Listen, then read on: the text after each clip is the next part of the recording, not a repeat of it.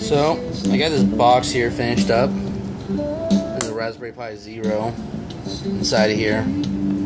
And I just recently mounted the rest of the parts in the lid here.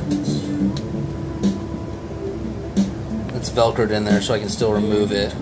But uh, it's a 256 gig SSD and a uh, USB hub. And there's a Wi-Fi router, uh, Wi-Fi adapter on there. This is actually powered off of 5 volt regulator in here. If you look, that's a buck regulator, and that is uh, outputs 5 volts, 5 amps supply off of it. So that's powering both the Pi and that hub there. Everything in the case here is solid core 18 gauge, except for these flex cables. Now I'm gonna hot glue a small segment of it to mount it firmly against the side here and control the movement of the wires but it should have plenty of length here to allow it to open and shut without pinching the power cables. Still monitoring heat temperatures. Uh, a little bit worried about getting hot out here. It's 95 ambient and it's full humidity. I, mean, I don't have a meter, but it's we've had inches and inches of rain in the last couple weeks. The, ground is saturated.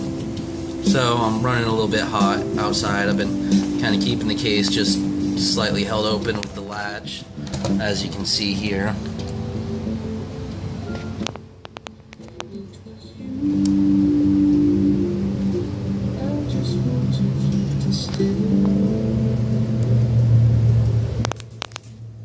Just for now, I've been monitoring temperature with a uh, infrared meter and uh, it seems to be getting about 104 degrees on top of the SSD case, well, at the case, and a little bit less but similar temperature on top of the heatsink on the amplifier.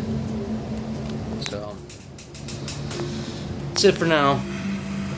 Hopefully, you guys can uh, let me know what suggestions, improvements. Video's pretty terrible right now. I'm using my phone, not the steadiest hand. Um, here, once I get something worked out, I'll have a little bit better video. But I went through all my cameras, and the greatest camera I had was VGA quality. Yeah, even for a 10 megapixel, I guess they're a couple years old. So I need to do something with that, but here soon. Anyways, later.